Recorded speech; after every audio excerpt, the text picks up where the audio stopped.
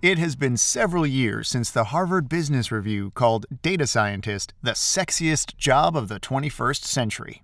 A lot has happened since then, hasn't it? New social media platforms, self driving cars, apps for ride sharing, food delivery, dating, and even face to face communication. And of course, 2020 happened, the year we all wanted to cancel, for a good reason. Forced to stay home, our lives became even more digital than they already were the global pandemic hit hard and accelerated the transition to a world in which we work from home, meet colleagues over virtual coffee and Slack, and generate zettabytes of digital data, which is then analyzed by data scientists companies need to hire. As a result of these trends, leading companies became more data driven than ever. So, if there's one thing that didn't change, it is certainly the demand for highly qualified data professionals. In this context, thousands of individuals around the world embarked on their journey to learn data science and become data scientists. And without a doubt, if we had to rank career paths based on their appeal at the end of 2021, data science would most definitely land among the top three. As every year, we conducted our annual research on 1001 data scientist LinkedIn profiles to define who the typical data scientist is and what their career path looks like. But before we start with the study, we'd like to announce our most exciting initiative to date. Starting on October 18th, we are bringing back the Free for a Month initiative at 365datascience.com. That's right. From the 18th of October until the 18th of November, you will be able to access our newly rebranded platform and all our courses completely for free. So make sure you save this date on your calendar. Okay, great. Now let's get right into our main topic the 1001 data scientist profiles we studied on LinkedIn. The numbers we obtained paint the following picture of the typical data scientist in 2021 a male who holds a master's degree and works comfortably with Python and SQL. Employed by a very large firm in the technology sector, he has 6.2 years of prior working experience and has been on the current job for about one year. The typical data scientist in 2021 is expected to stay on their current job for 1.7 years and has changed companies around two times in the last five years. Of course, we're aware that this is a generalization, but it can be a useful one, as it gives us an idea about the profile of people working in the field. Let's examine the data in a bit more detail, shall we?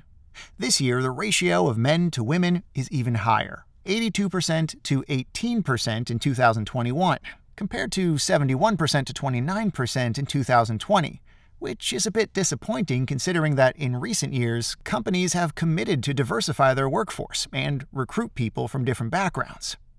What about degrees? As an education platform, we are frequently asked, do I need a university degree to get hired as a data scientist? The numbers clearly say, yes, you do. 97.2% of the individuals included in our study earned a university degree. However, we observe one interesting trend. The proportion of data scientists with a bachelor's degree grew from 12% in 2020 to almost 20% in 2021.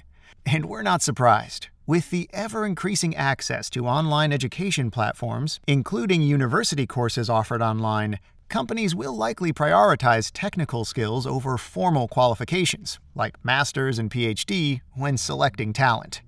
Python's popularity in the data science field has continued to grow in 2021. Almost 85% of the data scientists in our cohort use Python. SQL is the other most popular tool, coming in at a very close second, 82%. A considerable number of users continue to use R, 64%, which over the last few years lost some ground to the syntax-friendly Python. Python, SQL, and R are the three most popular coding languages data scientists speak. Now let's shift our focus to a different aspect.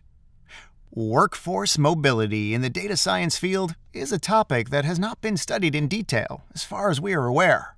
The demand for skilled data scientists continues to be very high, and we wanted to explore whether this impacts how much time data scientists spend on the job before switching companies and starting new employment. The median time data scientists spend on the job is 1.7 years. In fact, more than half of the data scientists in our analysis, 56%, changed jobs two or more times in the past five years. Unfortunately, we don't have data that can allow us to compare such mobility with other similar professions. However, considering the amount of training and onboarding that is necessary to bring someone up to speed and get them to 100% productivity, the mobility that we see poses the question of whether this is efficient and effective for companies. Perhaps Netflix's strategy, shared by the firm's CEO in his book No Rules Rules, to overpay employees to keep them with the company for as long as possible is a viable one considering the costs involved with training a new person every 18 months or so. All right, that sums up the profile of the data scientist in 2021. If you found our research helpful, don't forget to hit the like button, share it with your friends, and subscribe to our channel for more videos like this one. And if you want to become a certified data professional, don't forget that you can get a full month of free access to our comprehensive online data science program starting October 18th. So set a reminder. Thanks for watching and good luck.